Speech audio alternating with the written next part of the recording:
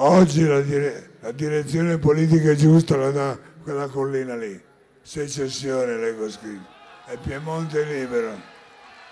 Tutto il resto sono chiacchiere.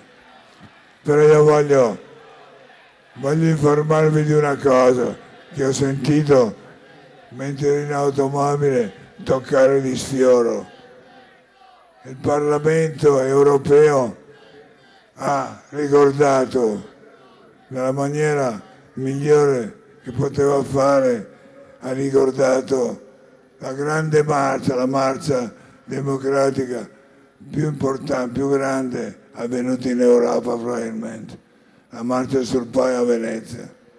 Capisco bene perché in quel bellissimo striscione ci sia scritto Italia di merda. Capisco bene. Quindi attenti a tirare conclusioni sempre.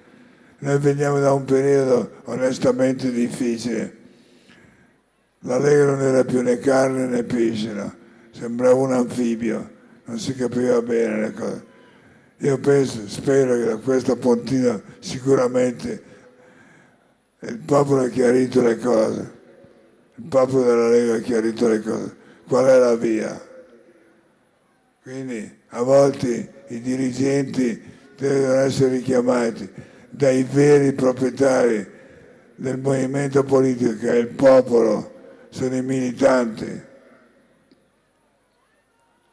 A volte anche i dirigenti pigliano strade che poi risultano essere perfette. Noi abbiamo una storia e questa storia è quella che ha fatto la Lega è nata per la libertà del nord oppresso dal centralismo eh, italiano.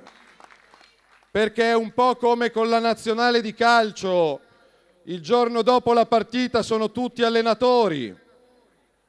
Anche qua ci sono un po' di segretari federali in giro che hanno la soluzione di tutti i problemi, che hanno la bacchetta magica. Io c'ero sul Po nel 96 insieme a tanti di voi io sono orgoglioso di tutte le battaglie fatte, delle vittorie come delle sconfitte, delle cose fatte bene come delle cose fatte male, perché qualche problema ce lo siamo andato a cercare noi, non ce l'hanno portato in casa solo gli altri.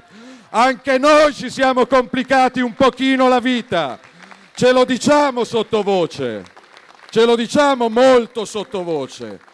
Ebbene, se qualcuno oggi, ieri o domani pensa che il futuro della Lega sia ancora quello di un partitino servo di qualcun altro, di Berlusconi o di Forza Italia, ha sbagliato a capire.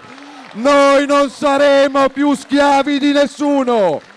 Noi accordi al ribasso non ne faremo con nessuno non voglio tornare al 4% per portare a casa 20 parlamentari di cui non me ne faccio un cazzo.